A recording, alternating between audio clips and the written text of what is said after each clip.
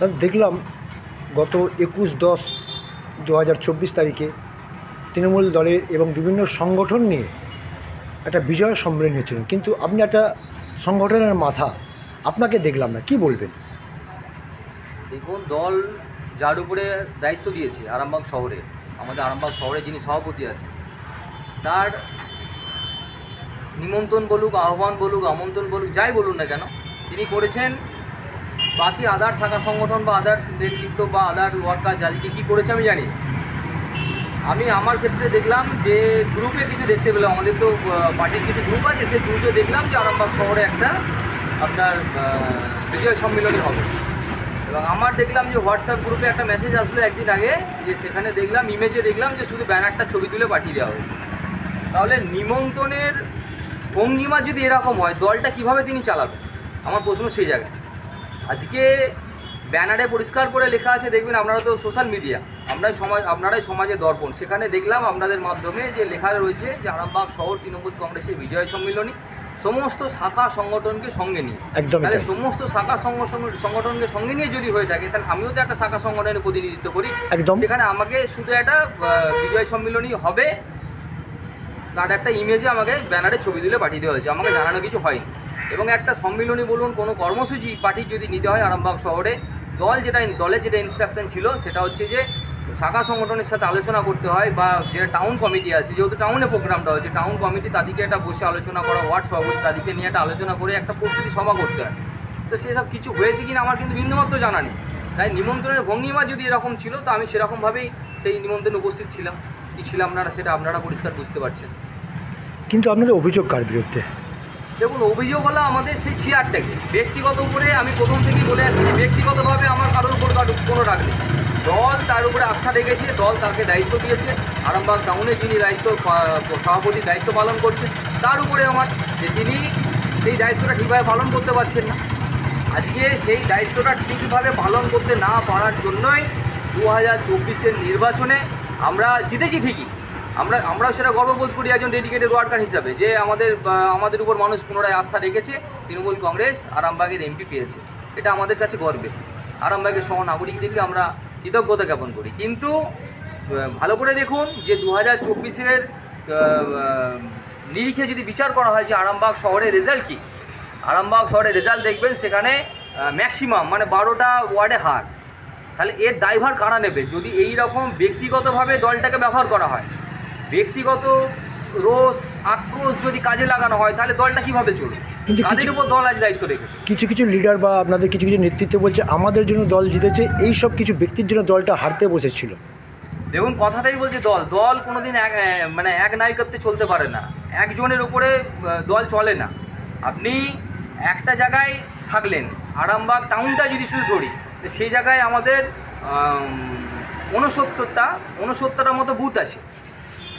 উনসত্তরটা যদি বুথ থাকে, তাহলে সেই বুথে একজন যে জিতিয়ে দেবে কী করে? সেই বুথে তো প্রত্যেক, প্রত্যেকটা বুথের সভাপতিরা আছে। তাহলে তাদেরও তো সমান ভূমিকা রয়েছে।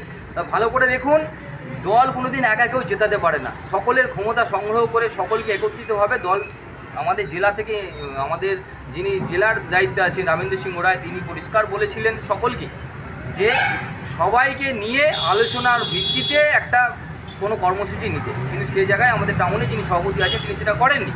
কিন্তু দেখা গেল যে আরামবাগ রবীন্দ্র ভবনে আমাদের সোশ্যাল মিডিয়া মারফতে যেটা দেখতে পেয়েছি, যে সেইখানেতে কোনো ওয়ার্কারটা ছিল না, যারা ভোট করে। যাদেরকে দেখে ভোট হয়, যারা মানুষের দুয়ারে গিয়ে ভোট ভিক্ষা করে, তারা কিন্তু বেশিরভাগটাই কিছু ছিল। কিন্তু তার কাছের লোকেরা ছিল। তিনি যেটা মনে করেন কিন্তু তিনি কর্মীদেরকে ডাকেননি, আসলে যারা কর্মী ছিল তারা ডাকেনি কিছু কিছু মানুষ ছিল ঠিকই, কিন্তু আবার অনেকেই ছিল না। বেশিরভাগটাই ছিল দেখবেন আনকোর যারা জানে না কিছু, তার যদি দুটো করে লাড্ডু খাওয়ানোর ইচ্ছে ছিল, তাহলে মোর মাথায় দাঁড়িয়ে দুটো করে লাড্ডু বিলি করে দিতে পারতো। তাহলে তো মানুষকে মিষ্টি করানো হয়ে যেত, বিজয় সম্মেলনী হয়ে যেত। কিন্তু শাখা সংগঠনের মাথা হিসাবে যদি বলে থাকেন, আমাকে প্রশ্ন করেন, তো আমি বলব, আমাকে সেই, আমাকে কোনো নিমন্ত্রণ করা হয়নি। আর একটা বিষয়, যে একুশ তারিখে যে ঘটনা ঘটেছে, আরামবাগে এক লিডারকে ধাক্কা দিয়ে ফেলে দেওয়া হয়েছে এরকম বা ধাক্কা মারা হয়েছে এরকম একটা অভিযোগ রয়েছে। কালকে তিনিও সোশ্যাল মিডিয়ার মাধ্যমে জানিয়েছেন যে তাকে অপমান করা হয়েছে। এই বিষয়ে কী বলবেন? দেখুন ওটা আমার জানা নেই আমি দেখিনি। এবারে যেহেতু আমি সেই সম্মেলনে ছিলামই না তা আমি কী করে উত্তর দেবো যে কাকে পার্টি ফেলে দেওয়া হয়েছে আর কাকে ফেলে দেওয়া হয়নি? আমি তো নিজেই ছিলাম না আমাকে আমন্ত্রণ করানো হয়নি আমি করা হয়নি আমি যাইনি। আপনার নাম এবং পরিচয়টা একবার যদি বলেন। আপনার নাম এবং পরিচয়টা যদি বলেন। আমি আমার নাম ভোলানাথ ঘোষ সভাপতি আরামবাগ শহর এসসি ওবিসি তৃণমূল কংগ্রেস। এবং হুগলি জেলা দলিত সমাজ কল্যাণ সমিতির আমি সভাপতি। ধন্যবাদ। তো এটা বলবে খবরটা খবর বল আপনারা কী বলবেন?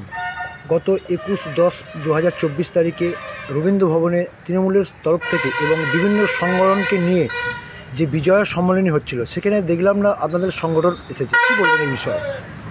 দেখুন সেটা সাংবাদিকদের কাছে অত খুলে তো বলতে পারি না, আমি একটা পদে রয়েছি। তো দেখেছেন আমার কিষাণ খেত মজুর কেন অনেকের শাখা সংগঠন সেখানে ছিল না। তো দলের নামে যেটা হচ্ছে, নোংরামো আরামবাগে এক লিডার আছেন। তিনি এই নোংরামোগুলো করছেন। কিছু ইউটিউব চ্যানেলকে ভুয়ো খবর ছড়িয়ে এই নোংরামোগুলো করছেন। জেলার সভাপতি যিনি সবাইকে নিয়ে হ্যাঁ সুন্দরভাবে পৌরসভা থেকে ব্লক হ্যাঁ সংগঠন করে যাচ্ছেন এবং তিনি চান পঞ্চায়েত ইলেকশনে যেমন সুন্দর করে সব ইলেকশন করে প্রার্থী দিয়ে জিতিয়ে মমতা বন্দ্যোপাধ্যায় অভিষেক উপহার দিয়েছেন, সেরকম সামনে বিধানসভা ভোট ছাব্বিশে যাতে দল ঠিকভাবে জিততে পারে এই লোকসভা ভোটের মতো।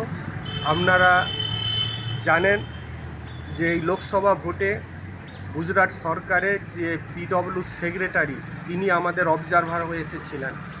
প্রার্থী জিতে গেছে, ঘোষণা হয়ে যাবে। একবার ঘোষণা করে দিয়েছে সার্টিফিকেট দিবে। সেই মুহূর্তে উনি বলছেন, না রিকাউন্টিং করতে হবে। তো সেই অবজারভারে চোখে চোখ রেখে এবং বিজেপি ক্যান্ডিডেট নেতাদের চোখে চোখ রেখে যিনি ফাইট করেছিলেন, আমি নিজের চোখে দেখেছি সেটা। সেটাই জেলার সভাপতি রামেনেন্দু সিংহরাই বলেই সম্ভব হয়েছে এবং দলকে উপহার দিয়েছে আরামবাগ লোকসভা। সেই রকম একজন স্বচ্ছ ভাবমূর্তি নেতার নামেও এরা মিথ্যে কলঙ্ক দিচ্ছে। ওই যে প্রোগ্রামগুলো আমাদের হচ্ছে বিজয় সম্মেলনী, এআইটিসির যে আমাদের ইউটিউব চ্যানেল আছে সর্বভারতীয় তৃণমূল কংগ্রেসের সেখানে লাইভ টেলিকাস্ট হয়। সেখানে যে বরণ পর্ব চলছিল বয়স্কদের সামনে ছিল তাকে একটু সরে যেতে বলা হয়েছিল। এইটুকুই জাস্ট তো এই নিয়ে যে নোংরামো হচ্ছে এ- এতে আমি আর কিছু বিশেষ বলছি না। আরেকটা বিষয় আপনার অভিযোগ কার বিরুদ্ধে? অভিযোগ আরামবাগে যারা দায়িত্বে রয়েছে যারা আরামবাগ টাউনে যারা দায়িত্বে রয়েছে, এদের কার্যকলাপ ভালো নয়, সংগঠনকে আগিয়ে নিয়ে যাওয়ার মতো এদের ক্ষমতা নেই। আপনি দেখবেন উনিশটা ওয়ার্ডের যে উনিশটা সভাপতি হয়েছে, কোনো মিটিং মিছিলে সবাইকে খুঁজে পাওয়া যায় না। এই যে ভোট হলো, আমাদের এমপি ভোট, আমাদের জিতা যে ওয়ার্ডগুলো, সেগুলো আমরা হারিয়েছি। আমাদের যে টাউন সভাপতি রয়েছেন, উনি যার কথাই চলেন, আইপ্যাক থেকে বিতাড়িত একটা ছেলে। সে টাকার বিনিময়ে ছবি পোস্ট করে এক দুটো নেতার। সে হচ্ছে দলের পরামর্শদাতা। তার মতে আমাদের আরামবাগ টাউনে দলটা চলে। এইভাবে দল চলতে পারে না। আপনারা কি দলীয়ভাবে কোনো ব্যবস্থা নেবেন? এরকম আমি দলকে জানিয়েছি দল কি ব্যবস্থা নেই। এটা আরও একটা বিষয় এটা কি মানে রাজনৈতিক বিশ্লেষকরা তাদের মতে এটা আরামবাগের তৃণমূল একটা কঙ্কাল চেহারা বেরিয়ে যাচ্ছে না? না না। তৃণমূল তৃণমূল কংগ্রেসই রয়েছে। এটা কয়েকটা সাংবাদিকদের এই মিথ্যে খবর রটনা করছেন আমাদের কিছু নেতা তা দিয়ে পরিবেশন করাচ্ছেন। এটাই দুঃখ লাগছে কষ্ট লাগছে। দল তৃণমূল দল সংগঠন চাঙ্গা আছে। কিছু নেতা পরিবর্তন করলেই দল আরামবাগে শহরে চাঙ্গা হয়ে যাবে। আপনার নাম এবং পরিচয় যদি আমার নাম শেখ নিয়াজুল আরামবাগ সাংগঠনিক জেলার কিষাণ খেত মজুরের সভাপতি। ধন্যবাদ।